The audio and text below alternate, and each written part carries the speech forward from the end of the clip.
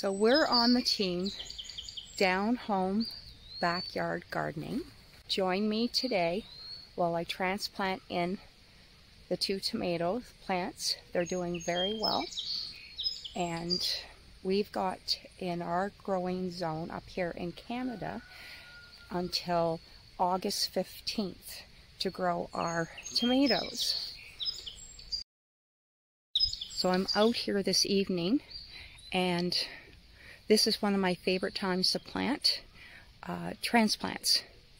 If I was planting seed, it would be any time during the day. But for my transplants, this is crucial for me because um, you never know. They could say it's overcast um, for later in the day and then it turns out it's really hot and sunny and that'll set your plants back a wee bit.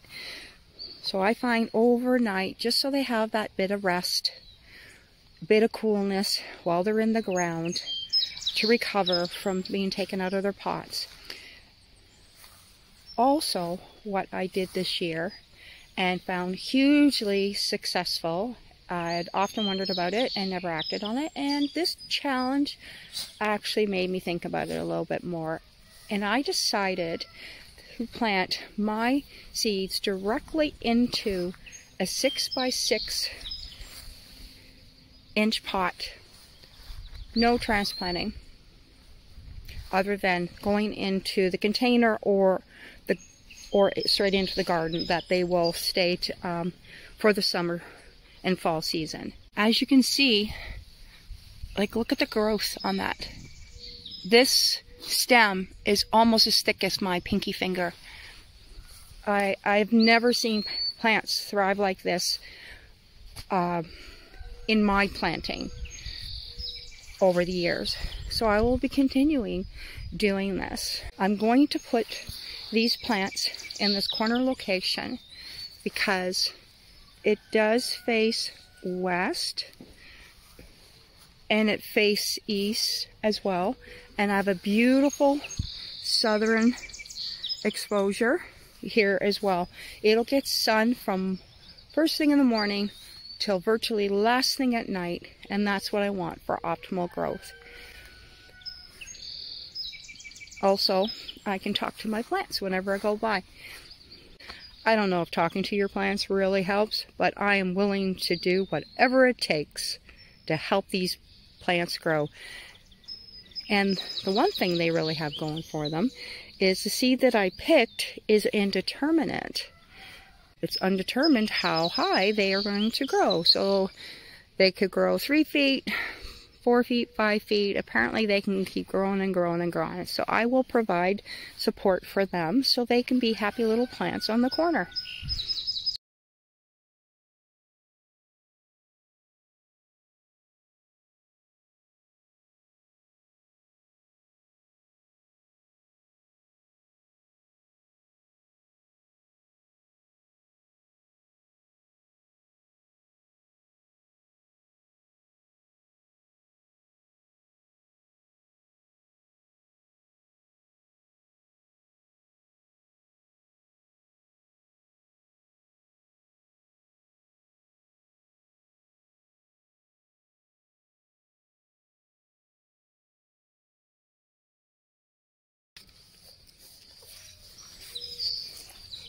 Some, I just ground up some banana peel and eggshell. I keep them separately in a sealed container. I collect them over the winter and I'm adding it to the soil. I usually do it before my leaves turn purple, but I should have planted these. Like I said, about a week ago, they would have been happier. So I'm just doing a light sprinkle and I don't have bone meal, but I do like to use this combination. Um, I'll be picking up bone meal later, uh, just so I have it on hand in case I need it. Well, Buttercup, what do you think? We're all done?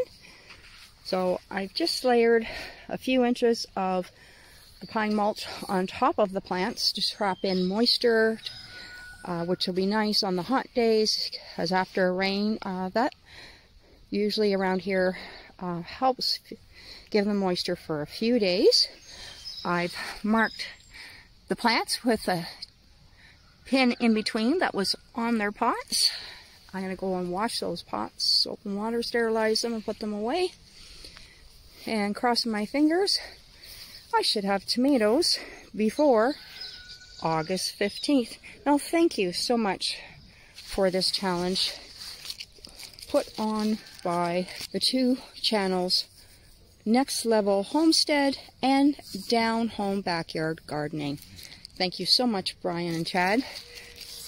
What a fun challenge, and I'm very happy to be participating in this and including my grandchildren in the process.